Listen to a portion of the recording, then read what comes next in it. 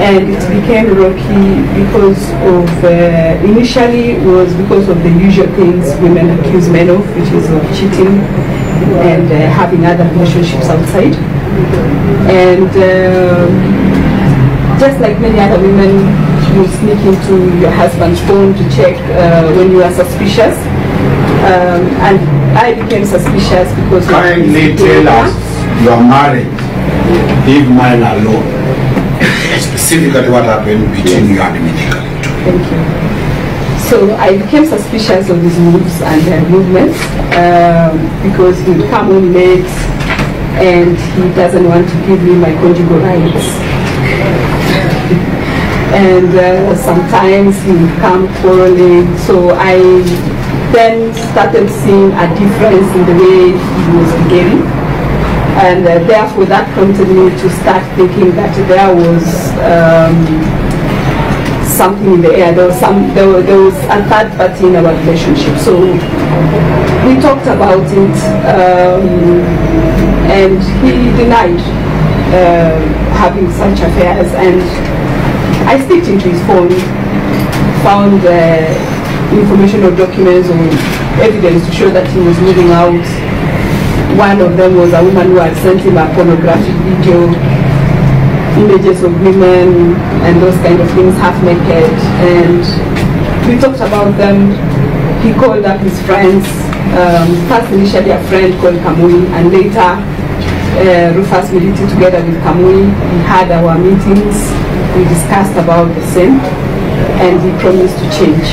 Um, soon after that he left for a trip to uh, the US I think was the US and while he was away on that trip, uh, that is when I made new other discoveries that um, Mithika Linturi had uh, taken titles that did not belong to him and went and charged them in his company to gain uh, monies. When he came back, we talked about it when he was away. When he came back, we had a discussion and he did not want us to engage in this discussion. So what he did is he went, he ran away to Meru and went and lived in Meru. Can you repeat that? When you went to Repeat. US, we discovered that. Um, discovered that he had taken properties or titles of properties that did not belong to him and charged them with the bank to They pay. belonged to. They belonged to my relatives. Yes? So when we wanted to discuss this matter, when I brought up the matter for discussion, he ran away, went to stay in Meru, and he started operating from Meru. So I'm in Nairobi with his children, my children, and he now lives in Meru. He has parliament to attend, but he will attend that parliament from Meru. Um, he'll come and go back to Meru or sleep around town because there are times I will know he has slept in town, but not at home. Um, and this went on from around April to around July of 2018. And around July of 2018, I felt I should now involve our parents. So I called up my mother and my father-in-law and my mother-in-law to come to Nairobi. So they came and we had a discussion about our relationship. I told them about the things um, Vika had been doing and that he had actually run away and stayed in Meru.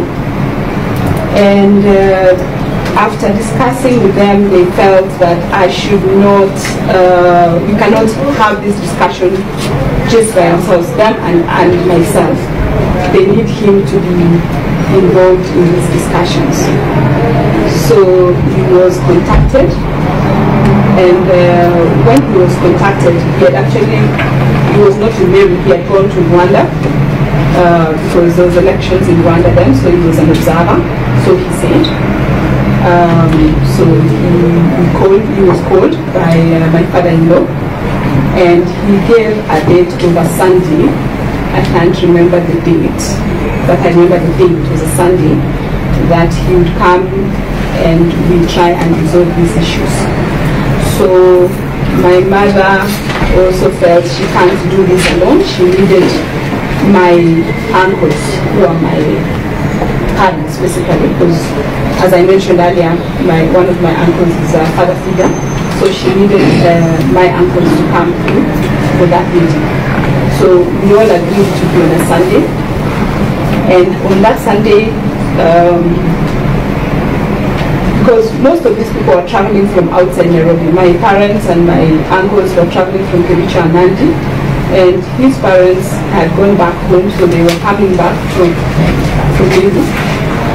So they came the Saturday before the Sunday. Uh, my brother-in-law was getting married in um, in uh, yeah, Kitui. So they had come a day earlier, went for the wedding, and after the wedding, they came home. Um, my other relatives arrived home this Saturday, and on Sunday morning, we had our meeting. So the one thing before the meeting started is Mithika Linturi told the crowd that he only had three hours to sit and discuss anything that needed to be tabled against him. Because after that he was going to uh, to do his senatorial duties in Meru. So um, remember, he's the one who had suggested the Sunday, but now he's giving a condition of three hours. For me, I wondered whether three hours would really be enough, considering that he had not been home since April. This is end of July, August, and um, he's only given us three hours.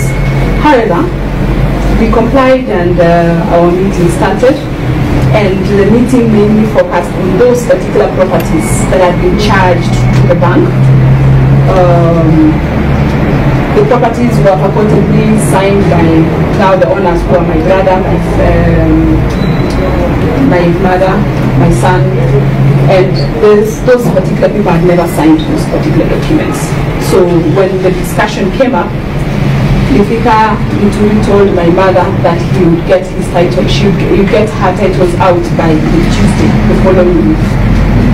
So, um, of course, the Tuesday reached and to date those titles have still not been gotten, still have been charged in the bank. But however, uh, the discussion did not yield much and it was agreed that um, we have a further meeting between myself and Mithika Linturi together with um, a few of our friends who were then directors of the, the company that we're talking about, uh, which charged the properties, with a view to resolving this matter. So the meeting was then to happen uh, the following week on, he was coming back to Nairobi on uh, Monday, so we were to still have the same meeting on Tuesday, and on uh,